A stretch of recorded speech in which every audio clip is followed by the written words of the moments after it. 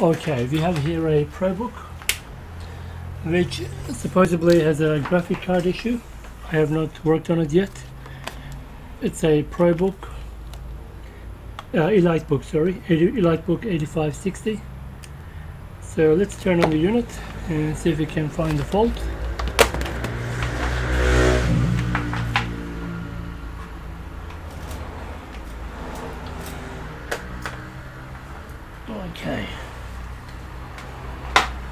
Running Windows 7 at the moment. Apparently it is not connected to the net as it does one specific purpose job.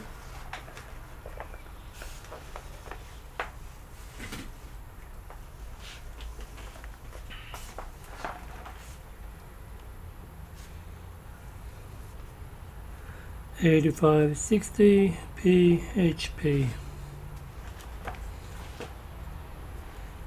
Let's have a look what kind of computer this is.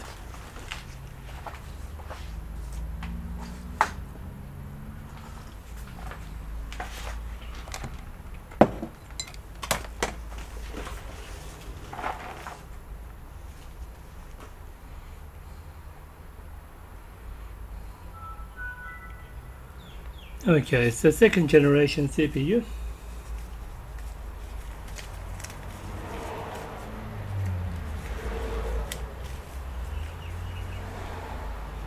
DDR3. Okay, so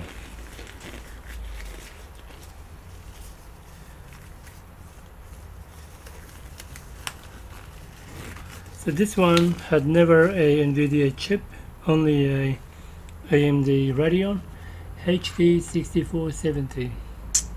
That's a bit sounds like a familiar model which may have graphic card issues.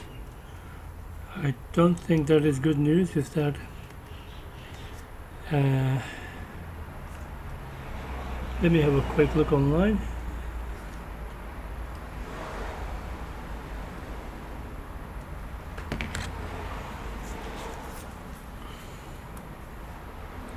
I'll just hide the screen so we can get it ready. Uh, view, show desktop icons, nope, okay. So I'll bring the HDMI screen hopefully that will work. That's HDMI input.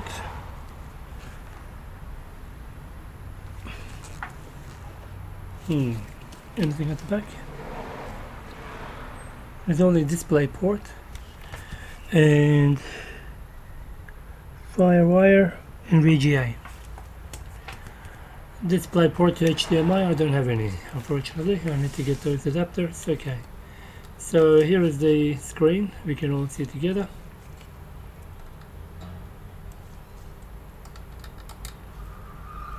So it's apparently sometimes there's a glitch of some sort as reported by the customer. I'm not sure. So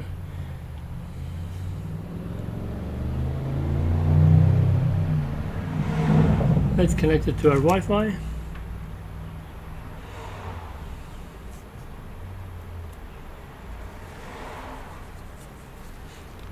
I'll just bring up the browser.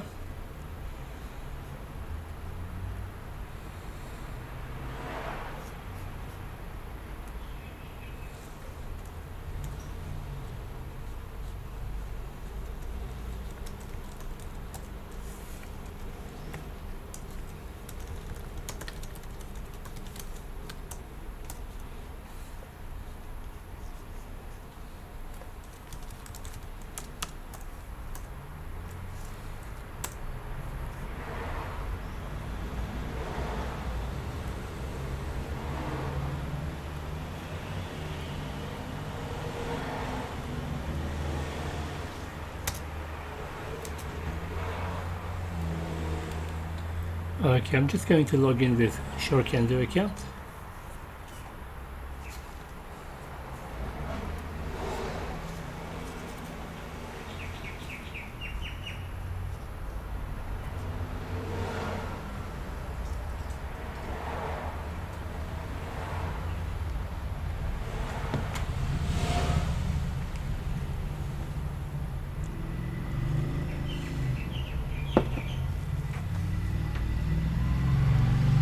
Oh, here we go. Nice. The problem repeated. Hmm.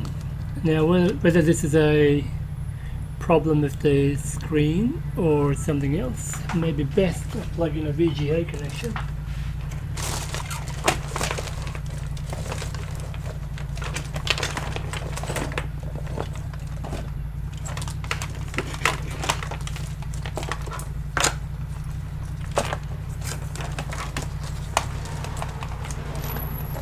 Oh, there was a blue screen. I didn't get to see it. Oh, okay, okay. This is definitely a GPU. Yeah, no doubt.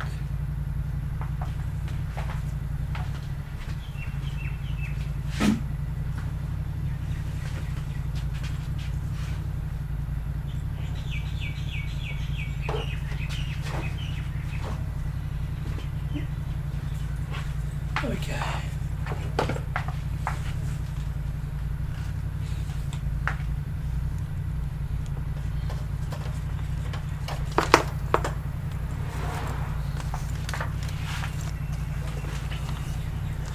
I 100% think it's a graphic card.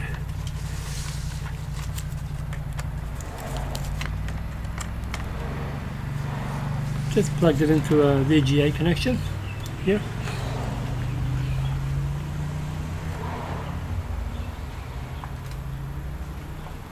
And the same problem does present itself as you can see on you can see the discoloration yeah, it is not a cable problem. Yeah.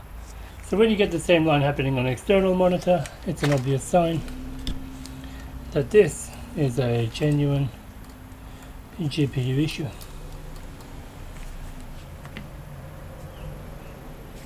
Okay, so what do we do about this machine? Well, we did advise client that the GPU may be able to be repaired, and if it is, great. If not we will replace the board. So we got two ways to go. We can attempt the repair and hopefully that will fix it. It's a bit tricky.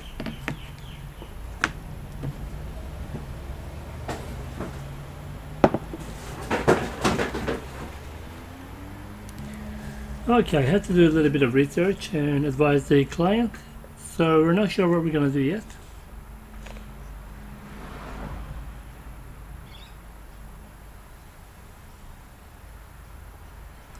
the CPU is removable on this. So we can get a motherboard cheaply and swap it out.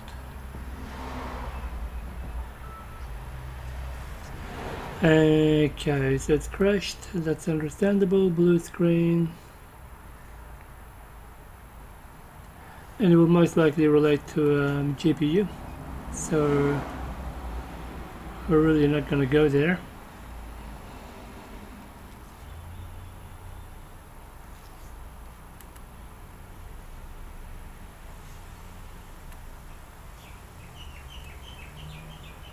ideally you want to remove this uh, GPU reball it and put it back on the system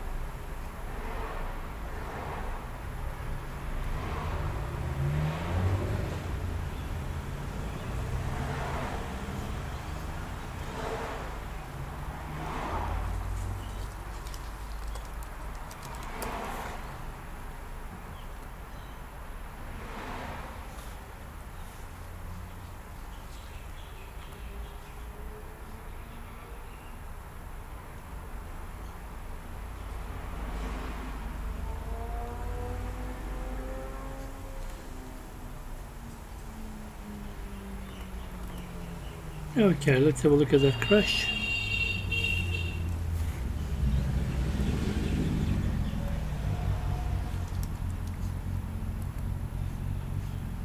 Yeah, so we can clearly see why it crashed.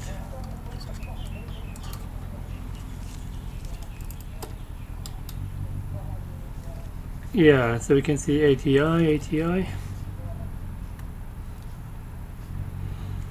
Okay. We'll see how this goes, but ideally we want to be able to uh, repeat the problem. So if we can maybe do a quick uh, GPU stress test, probably it's gonna kill it.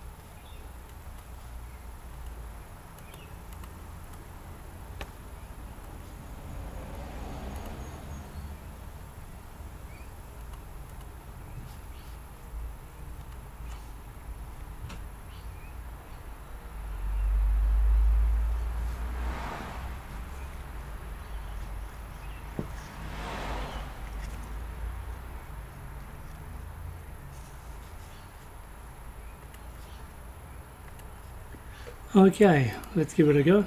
Standard settings.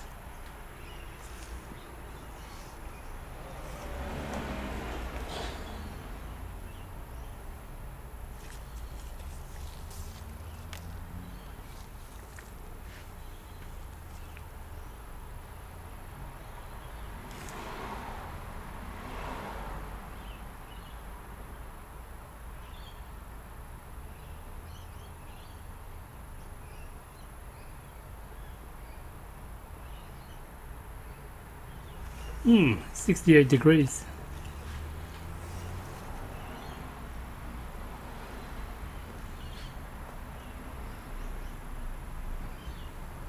Seventy degrees. Oh, 71 degrees. Crash. So basically, when the crash happens, you'll find the display driver stop responding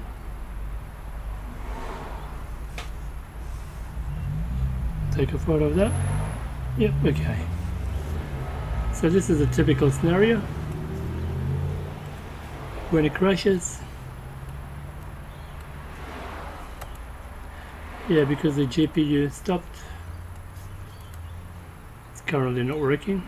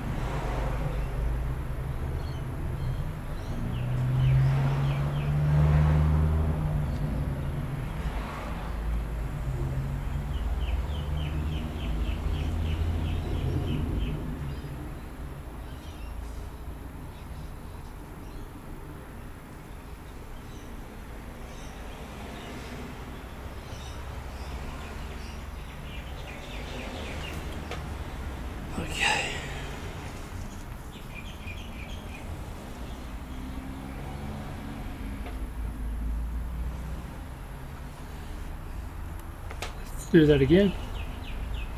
I wanted to crash.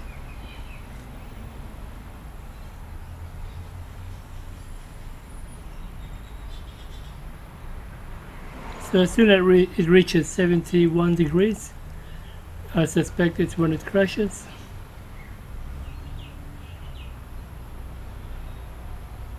Sixty-five. Here we go. Degrees. It crashed. Nice. Okay. We won't spend any more time on this. We'll see what the client wants to do, and we'll go from there. So it's a HD 7400M. You can see the lines on the screen.